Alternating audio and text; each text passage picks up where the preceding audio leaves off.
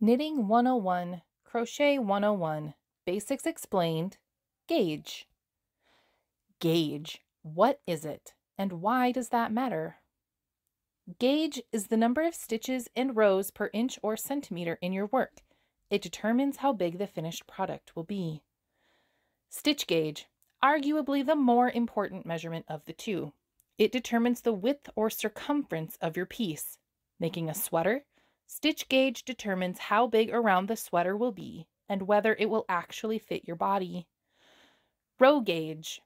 Row gauge determines the length or height of your piece. Still making that sweater? Row gauge determines how long the sweater will be and whether it will accidentally or purposely be a crop or a tunic. Measuring gauge. How do you measure? With the swatch sometimes an S word in the yarning world. A swatch is a square at least 4 inches or 10 centimeters by 4 inches or 10 centimeters using the stitches in the pattern to determine how many stitches and rows you end up with when you use the recommended yarn weight and needle or hook size. Count how many stitches and rows there are in the 4 inch 10 centimeter square. Adjusting gauge. If you have too many stitches or rows, go up a needle or hook size.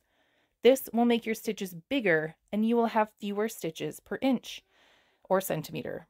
If you have too few stitches, go down a needle or hook size.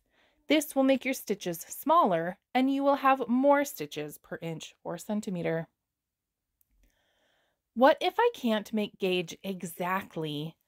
Everyone creates with different tension, and sometimes you may not be able to match the designer's gauge perfectly. When you've tried various needle or hook sizes and can't get both stitch and row gauge, pick stitch gauge and match that, especially in shaped garments where the final circumference is important. Sweater, sock, hat, cowl, mittens, and the like. The number of rows can be adjusted on the fly if needed. Caveat Sometimes shaped garments have increase or decrease structures that depend on the correct number of rows. Math will get you to where you need to be when you need to adjust row counts based on your swatch and the gauge offered by the designer. But that is a different conversation for a different day. Questions? Leave a comment. Tired of garments not fitting you? I'm doing yarnwear fit research alongside Yarn Andy.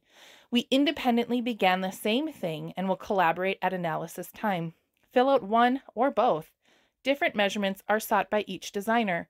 Filling out both will give us more robust data. Tag someone or share this post to spread the word. The more data we gather, the better the outcome. The link to my research form is on my homepage at carijehlik.com. Yarn Andy's research form is on her homepage at yarnandy.com. Scroll to near the bottom to find links.